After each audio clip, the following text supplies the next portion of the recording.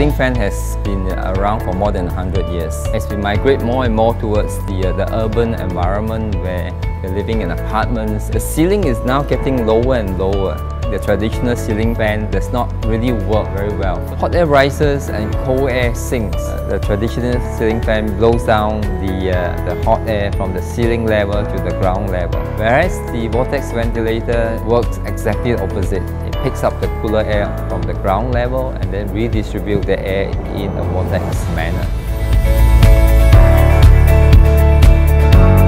Tornado is powerful because it doesn't really need a lot of energy to, to move the air because the air actually moves in a circular motion. In the vortex technology, we are trying to mimic nature in a controlled environment to be adapted into our low ceiling living environment. Air conditioning system consumes a large amount of energy compared with the traditional ceiling fan.